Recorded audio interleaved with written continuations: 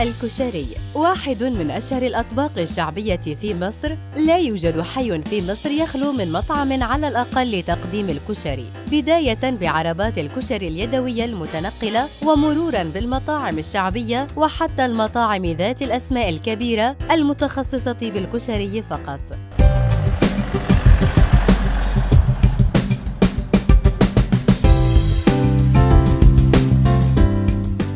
على الرغم من حفاوة المصريين بالكشري فأصل طبق الكشري ليس مصريا لكنه يعود إلى الهند. ويتكون طبق الكشري من خليط من الأرز والمكرونة والشعرية والثوم والبصل والصلصة والعدس.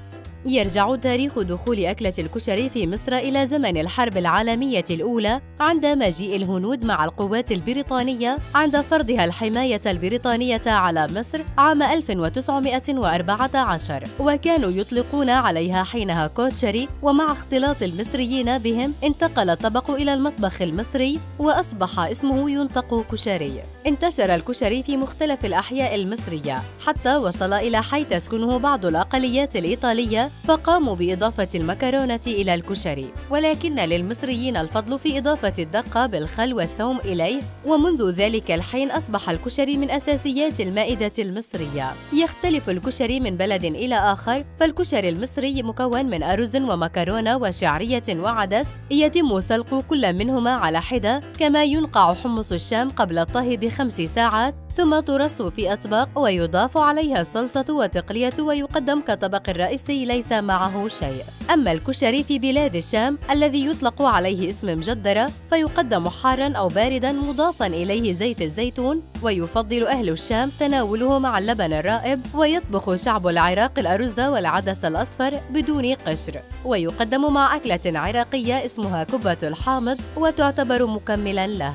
تحدث الرحالة ابن بطوطة عن الكشري في كتابه تحفة النظار في غرائب الأمصار وعجائب الأسفار في وصف بلاد الهند قائلا يطبخون المنج مع الأرز ويأكلونه بالسمن ويسمونه كشري بالكاف والشين المعجم والراء. وعليه يفطرون في كل يوم والمنج هو العدس الأسود. وعلى الرغم من انتشار الرواية التي تؤكد الأصل الهندي للكشري وهناك روايات أخرى حول أصل هذا الطبق.